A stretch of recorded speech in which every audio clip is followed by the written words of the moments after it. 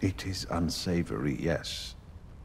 But a sacrifice we must make to secure Aegon's succession. And then there is Daemon to consider. The king wouldn't wish for any of the king did not wish for the murder of his daughter.